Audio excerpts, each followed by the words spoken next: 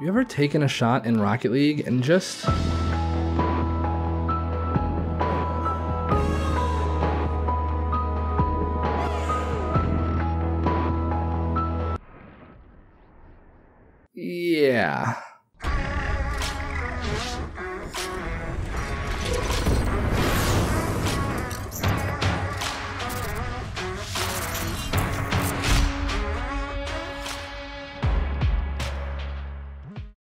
Hey, what's going on guys? Today we're talking about how to take good shots in Rocket League. We're going to cover how to put your shots on target, how to get power behind your shots, how to place them exactly in the net where you want them, and in between all of that, I'll be giving you tons of small tips and tricks on how to make these things easier to execute, so make sure you stick around to the end of this video so you don't miss any of it. Also, before we get started, I wanted to let you guys know that I stream every Saturday and Monday on Twitch at 4 p.m. EST. I'll put a link in the description to my Twitch channel channel, and I would really appreciate if you could drop a follow and come hang out while we play some games. Drop a like on this video if you want to support the channel. There are tons of different ways you can take a good shot at the net. Let's break a shot down into three categories. Your momentum, the ball's momentum, and the contact on the ball. When it comes to your momentum, the more mass and speed that you put behind your hit, the more power will come from your contact. I call this concept your straight line mass. If you want to learn more about straight line mass, I cover it in more depth in my Rocket League course. You can click the link in the description to find out more. But in short, straight line mass is the amount of your car's mass pushing into the ball in a straight line in the direction that you're driving into the ball. The more mass you have on this straight line, the more power your hit's going to generate. That means the most power you can generate from this technique is by hitting the ball in a straight line from the corner of your tail pushing through the opposite corner of your nose. That being said, it requires a circumstance circumstance to line up for that angle of a touch, and most of the time the situation will call for you to use your nose to shoot, which still generates close to the same amount of power as the corner touch because you have all the mass from your tail to your nose behind the ball and on this line. You can still generate power using any line of mass through your car, but the more of your car you put on this line, the more power your hit's gonna generate. Our speed also affects the power of the ball, so the faster you're going, the easier it is to generate power. The slower you're going, the less power you're going to get from your hit. The ball's momentum. When it comes to the ball's momentum, there are four different situations to account for. Ground shots, volleys, half volleys, and aerials.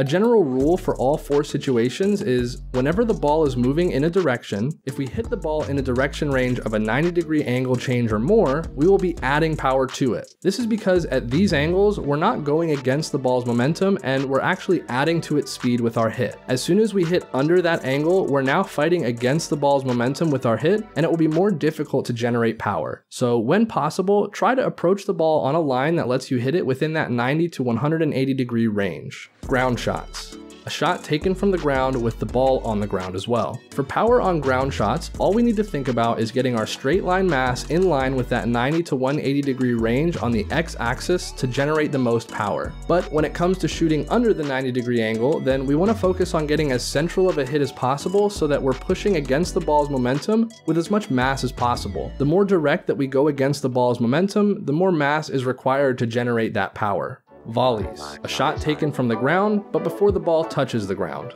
For power on volleys, we must now include the momentum that the ball has on the y-axis in addition to its momentum on the x-axis. Similar to the x-axis, when the ball's momentum is up or down, hitting the ball within the range of 90 to 180 degrees will add power to the ball's path with ease. When hitting under the 90 degree angle, we're now going against the y-axis momentum, making it more difficult to generate power and requiring more mass behind the ball for the hit. So when making contact for a volley, try to line yourself up to a hit at an angle within the 90 to 180 180 degrees for both the X and Y axes independently. Anything in the 0 to 90 degree range will require more mass behind the hit to change the ball's direction with power. Half volleys, a shot directly after a bounce. For power on half volleys, we want to hit the ball directly after it bounces. We're again dealing with the X and Y axes, but this time we're allowing the ground to shift the ball's momentum on the Y axis before we hit it. If we hit the ball on its way down to the ground before it bounces, we're fighting the ball's momentum on the Y axis. But when we allow the ball to bounce, its Y axis momentum is now going upwards and our hit will add to that ball's upward speed. This is one of the most deadly shots you can take when mastered. It's incredibly difficult to react to the speed and direction change that a half half volley hit can give to a ball when you're defending. Aerials, a shot taken from the air with the ball also in the air. For power on aerials, it is near identical to generating power on a volley.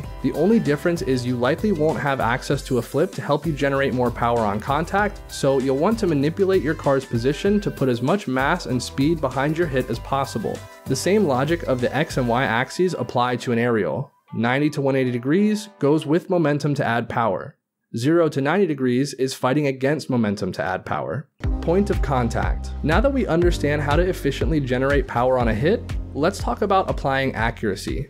Accuracy is fairly easy when you're looking at the basics of it. It's a common misunderstanding that you have to be moving or dodging in the direction that you want to hit the ball in order for it to go in that direction. This is not true at all. You'll generate more power by doing this, but accuracy comes 100% from the point of contact on the ball. Anywhere you touch the ball, it will move in a straight line directly opposite of your point of contact. So picture it like this. Any touch you get, facing any direction, will hit the ball as if you were driving in a straight line onto that spot you made contact with, but it will only apply the amount of mass you have on that line. If you hit the ball on the left, it will go right. If you hit the ball on the right, it will go left. If you hit the ball low, it will go high, and if you hit the ball high, it will go low. So now couple this thought process with where you want the ball to go, and you should start being able to visualize where you should be making contact to get it going in the right direction. A method that I call ball net ball.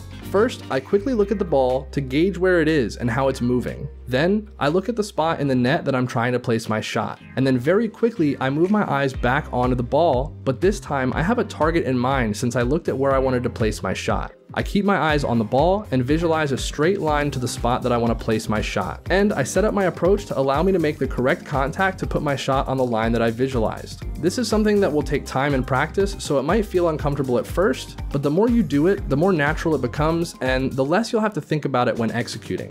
Now, the final thing to tie your power and accuracy together is timing your dodge. The reason I waited until the end to explain this is because it's an extremely common mistake to put too much focus into your dodge when shooting.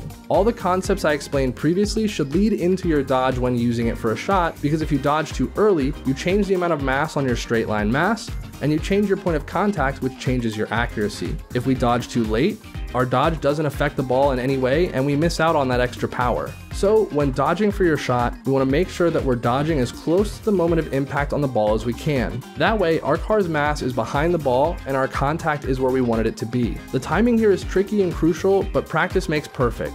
So I've put the training pack code I made for this video on screen and in the description for you to use to practice your power and accuracy, and I'll also include some other training pack codes in the description that you can use to practice these concepts as well. So to wrap things up, use your car's mass behind your hit to add more power. Touching the ball at an angle of 0 to 90 degrees to its path fights against the ball's speed. Touching the ball at an angle of 90 to 180 degrees to its path adds to the ball's speed. Your point of contact is what entirely determines your accuracy, and dodging into the ball during your contact will add even more power. If this video helped you, please consider subscribing to the channel. I upload a new educational Rocket League video every Saturday so that I can help you get better faster. We also have a Discord where the community can come together to ask questions about improving, find new friends to play ranked with, post cool clips, or just hang out and talk with me. I hope you enjoyed this video, and most importantly, thanks for watching.